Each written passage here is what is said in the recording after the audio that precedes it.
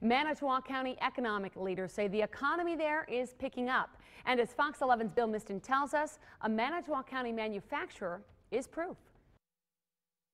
Spancrete bills itself as building innovation. It's painted right on the wall, made of, you guessed it, Spancrete. The precast concrete is used from residential buildings to bridges. However, the Wisconsin-based manufacturer is facing a good problem, which boils down to simple supply and demand. We got awarded uh, two new contracts uh, here in the upper Midwest, and uh, we're expanding our workforce. Which means Spancrete Vice President Scott Galke is poring over applications for 60 new hires to increase production at the company's Valders plant. Galke says the full-time jobs offer full union benefits and wages, ranging between 12 and $25 per hour, depending on skill. Roughly 250 of the company's 325 employees work in the Valders precast concrete facility. We're seeing the same thing throughout the uh, throughout the industry in the East Coast uh, and in the uh, Southeast. We have plants in the Southeast. We're seeing the same amount of growth in the Southeast.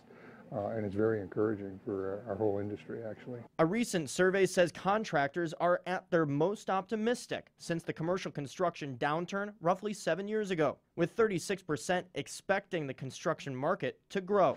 Galke says the proof is in the project. We're seeing more activity by the financial institutions, uh, freeing up funds to get some of these projects that have been on the uh, drawing boards for years. A regional resurgence that county economic leaders say they are also seeing here in Manitowoc County, which means good things as the year and the construction season begins. You're seeing signs of growth.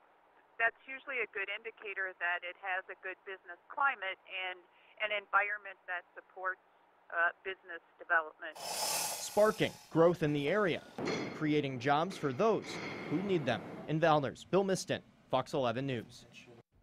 The company will hold its final job fair from 6 to 11:30 tomorrow morning. You can also apply online. That information is on our website at fox11online.com. And while you're there, you can also check out other openings in the area. Our Fox 11 online job finder can be found under the On Fox 11 tab, which is located at the top of our homepage.